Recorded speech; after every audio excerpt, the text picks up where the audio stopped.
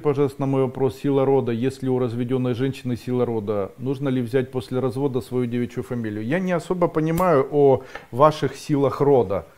Часто люди говорят мне эти слова, говорят, сила рода, я беру силу рода и так далее. Если вы так берете силу рода, если у вас такая сила рода, то тогда что, все больные? Все больные, все нищие, все бедные, дети все больные, дети все невезучие. Если род так помогает человеку, то тогда почему все такие несчастные? Объясните мне. Смотришь только сила рода, сила рода. На человека смотришь, у него счастья нет, дети больные, дети все сумасшедшие какие-то. А, сама несчастная там. Какой род? Куда он ее там ведет вообще? Какая сила там? Силой рода и громозорга, слушайте и птеродактиля. Нету никакой силы, кроме той силы, которую вы в себе вырабатываете. Ваша душа это бесконечный океан силы. А еще больше силы, если есть вера в то, что будет все хорошо в жизни. Вот это сила. Живите ради детей, в этом сила. Живите ради бабушки своей, мамы, дедушки.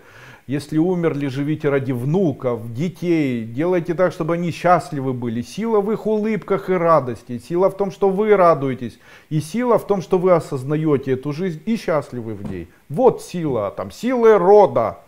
Какой силой рода? Что он вам даст? Это слова эти, силой рода.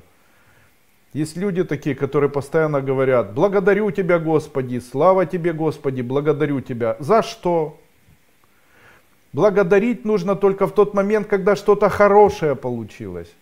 Если хорошее получилось, отблагодари. Если ничего не произошло, не надо этого делать. Встала, благодарю. За что? За то, что встала. Это такая прям счастливая, что встала, что надо отблагодарить.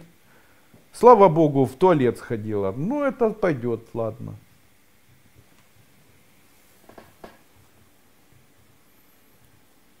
Благодарить надо в тот момент, когда кто-то для вас что-то сделал.